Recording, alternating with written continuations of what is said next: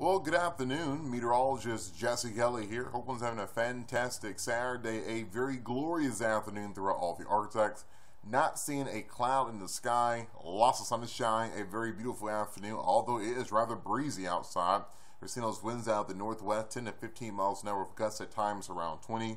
We did see some very strong winds move throughout portions of the ArkLaTex late last night and even into early this morning. You can see lots of reports of either strong winds, whether from thunderstorms or from the wake low that we did see yesterday, or some thunderstorms produced some very large hail in places. So again, a very active night weather-wise last night. But the good news is I'm not expecting anything severe, at least over the next seven days as of right now.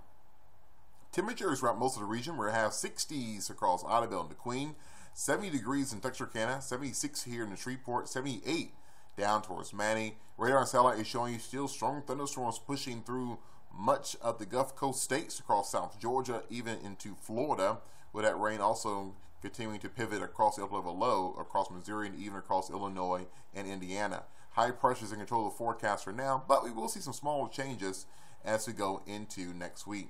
Tonight, though, we'll see temperatures falling down to the 40s, 47 degrees in Shreveport, 42 in Idabel, 44 in Marshall, 46 into Many and Natchitoches.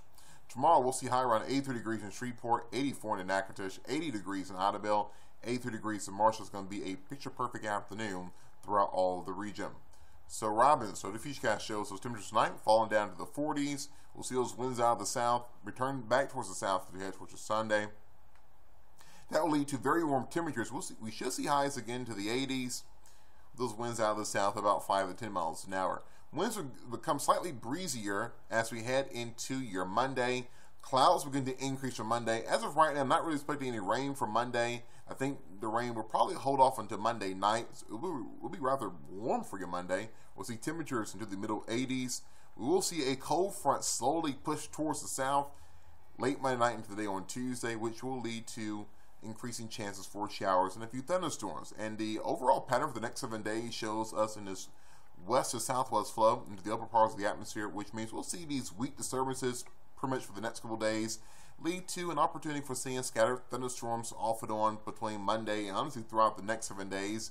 It will not rain everywhere all day, every day for the next seven days, but again, there will be a decent chance that we could see a stray thunderstorm or two. It looks like we may see a slightly better chance of rain as we head towards next Friday and Saturday, but again, these rain chances could probably change depending on the model runs and again just the weak disturbances here or there. So again, we'll see at least at least a decent opportunity for seeing a chance of rain and thunderstorms pretty much every single day beginning on Tuesday.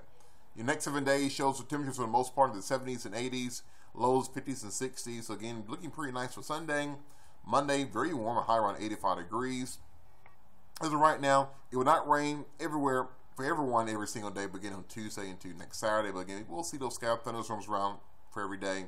Highs into the lower 70s, lows into the 50s and 60s. So enjoy Sunday and also enjoy Monday as well too before we see rain thunderstorms increase for your Tuesday.